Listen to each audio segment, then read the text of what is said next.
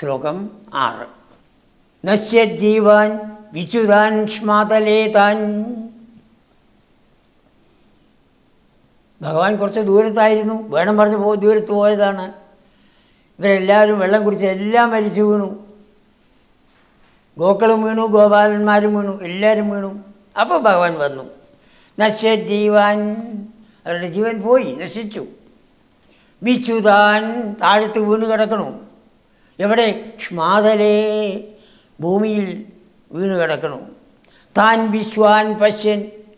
അവരെല്ലാവരെയും കണ്ടിട്ട് അച്യുത ഹേ ഗുരുവായൂരപ്പ അങ്ങ് ച്യുതിയില്ലാത്തവനാണ് അച്യുതൻ.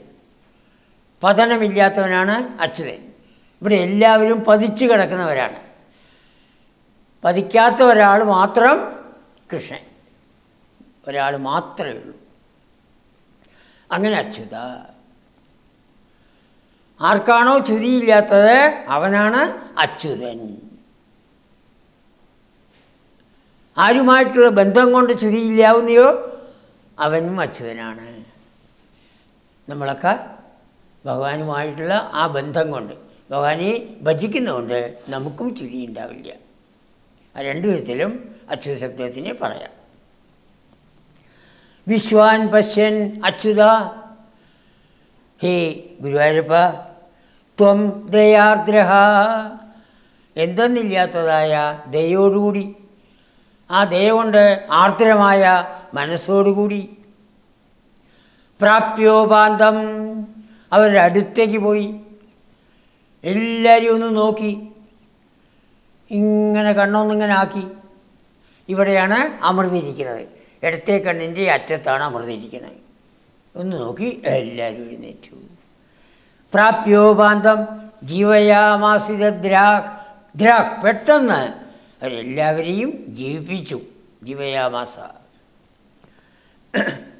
എങ്ങനെയാണ്? പീയൂഷംഭോ വർഷിപ്പി ശ്രീകടാക്ഷൈ പീയൂഷം അമൃത്. അമൃതാകുന്ന അമ്പസ്.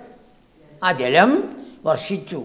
ഭഗവാന്റെ കണ്ണിൽ നിന്ന് ആ ജലം എല്ലാവരുടെ ദേഹത്തിലും തട്ടി ആ കടാക്ഷം കൊണ്ട് കടക്കണ്ണുകൊണ്ടുള്ള നോട്ടം കൊണ്ട് അവരെല്ലാവരും ജീവിച്ചെഴുന്നേറ്റു. ഗോക്കളും അതെ ഗോപാലന്മാരും അതെ. അപ്പോൾ നമ്മുടെ ജീവൻ പോയാൽ പോലും ഭഗവാനെക്കുറിച്ച് ചിന്തിച്ചാൽ രക്ഷപ്പെടാമെന്നാണ് പറയുന്നത്. അത് നമുക്ക് സാധ്യമല്ല. അതിന് മുമ്പ് ചെയ്യാമല്ലോ ജീവനുള്ളതായ സമയത്ത് ആ മരണശൈലിയിൽ കിടക്കുന്നതായ സമയത്ത് ഭഗവാനെ സ്മരിക്കാമല്ലോ. സ്മരിച്ചാൽ ഇനിയൊരു ജന്മമില്ലാതെ കണ്ട് ആ ഭഗവാനുമായി ഐക്യം പ്രാപിക്കാൻ നമുക്ക് സാധിക്കും. അതാണ്. എന്തായാലും ഭഗവാൻ ദയാർദ്രനാണ് എന്ന് നമ്മളെപ്പോഴും മനസ്സിലാക്കണം. ദയ കൊണ്ട് ആർദ്രമായ മനസ്സോടു കൂടിയവനാണ് അദ്ദേഹം. അങ്ങനെ അദ്ദേഹം നശ്യജീവാൻ വിചുതാൻ താൻ. ജീവൻ പോയി താഴത്ത് ക്ഷ്മാതലേ വിചുതാൻ ഭൂമിയിൽ വീണ് കിടക്കുന്ന താൻ വിശ്വാൻ അവരെല്ലാവരും പശ്യൻ കണ്ടിട്ട് ത്വം ദയാർദ്രഹ. ഭഗവാൻ എന്തെന്നില്ലാത്ത ദയ കൊണ്ട് കാരുണ്യം കൊണ്ട് മനസ്സലിഞ്ഞവനായി പ്രാപ്യോപാന്തം ഓരോരുത്തരെയും അടുത്തെത്തി തന്റെ കടാക്ഷം കൊണ്ട്. ജീവയാമാസിത. അവരെല്ലാവരെയും ജീവിപ്പിച്ചു.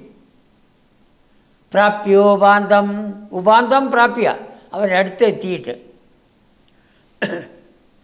എങ്ങനെ ജീവിപ്പിച്ചത് പീയൂഷാംഭോ വർഷിഭി ശ്രീകടാക്ഷി ആ ഭഗവാന്റെ കടക്കൺ നോട്ടം ഇടത്ത് ഭാഗത്തുള്ളതായ ആ കണ്ണിൽ നിന്ന് പീയൂഷ അമ്പസിനെ വർഷിച്ചു എന്നർത്ഥം. പീയൂഷം അമൃത്. അമൃതാകുന്ന ജലം. അമൃതാകുന്ന ജലത്തിനെ വർഷിച്ച് അവരെല്ലാവരെയും ജീവിപ്പിച്ചു. ഗോപന്മാരും എഴുന്നേറ്റു. ഗോക്കളും എഴുന്നേറ്റു.